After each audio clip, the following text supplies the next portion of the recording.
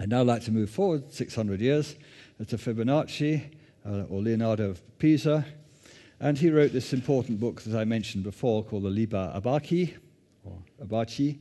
Uh, it's the book of, of, of counting.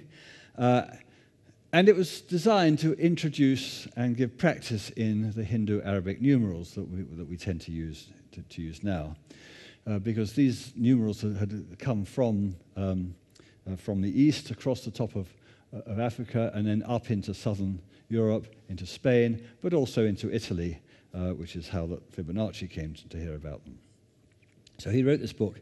And in this book, you'll see several different puzzles um, or problems. I mean, here is one which is not the most exciting one, but it's, uh, but it's quite interesting how it's solved. Um, there is a tree, a quarter and a third of it lie below ground, and that's 21 palmi, which is obviously some measure. How tall is the tree? And the method of solving it is called the method of false position.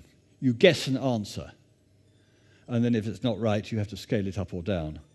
For example, uh, what would you guess? You might guess 12. You guess 12 because 12 is divisible by 4 and 3. Okay, so, um, so you guess 12, and this gives you 3 plus 4, which is 7. We've got 7, but you really want 21, so you obviously scale it up by, by, by a factor of 3. So instead of 12, your answer is 12 times 3, which is 36. And in the Liber Abaci, you will actually see not only the, the problem, but you'll see the fully worked out solutions that Fibonacci gave. Um, a slightly more interesting one uh, says that if a lion eats a sheep in four hours, a leopard eats it in five hours, and a bear eats it in six hours, poor sheep, um, how long would they all take together? And again, so this is like this one about Polyphemus, isn't it, with, with, with, with the different spouts and the, and the, cisterns and everything. And the way to solve it, uh, as Fibonacci explains, you, you look at, see what happened in one hour.